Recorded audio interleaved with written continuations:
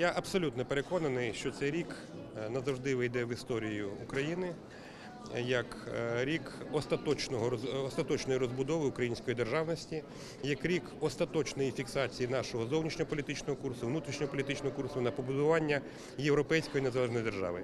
Ми прийняли колосальну кількість законів е, і в сфері е, воєнній.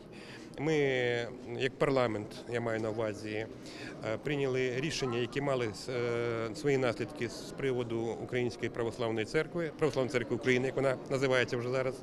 І мене немає сумнівів, що оцей рік і ці наші досягнення назавжди війдуть в історію України. Революція гідності, то що ми називаємо Майдан, е, відбулася саме тому, що Янукович хотів повернути курс нашої держави від НАТО від ЄС. І закріплення в Конституції е, цього курсу це те, ради чого ми з вами 5 років тому, вже 5, років минуло, вийшли на Майдан. І я впевнений, що в залі буде конституційна більшість, яка закріпиться в Конституції України.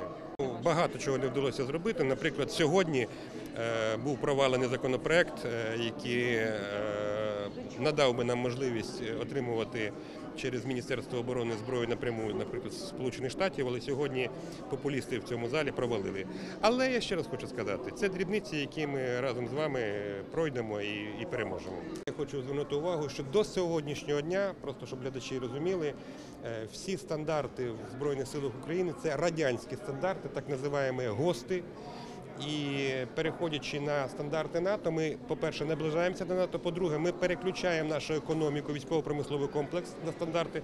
Це починаючи від, от, від самих простих речей. Наприклад, е, що стосується артилерії, в НАТО калібр 155, в радянському Союзі в нас відповідно 152. Це один приклад. І таких прикладів дуже багато.